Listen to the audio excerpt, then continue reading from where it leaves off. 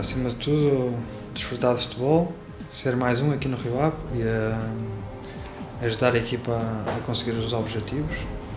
Esse é, esse é, o meu grande objetivo pessoal. Uh, acima de tudo, é voltar ao futebol e, uh, e desfrutá-lo.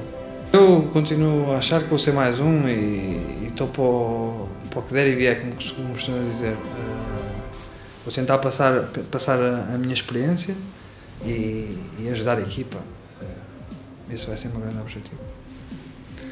Traz um gostinho especial por ser, por ser na minha terra, na minha cidade, estar em casa e é esse o ponto mais positivo, se calhar, desta escolha Rio Ave também, que é, é desfrutar do clube da minha cidade. Foi uma das conversas que, que tive com o Presidente, foi isso.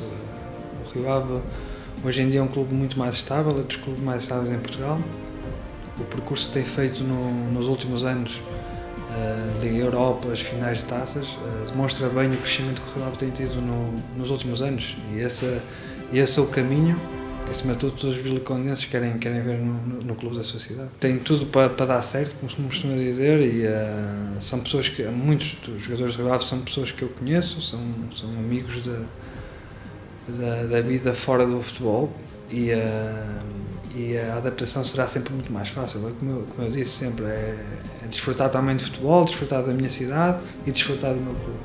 E isso que, que eu espero no futuro é, é o Rio Ave continuar a crescer da forma que tem crescido nos últimos anos e, e desfrutando da, da vida no futebol que, que, que, que, que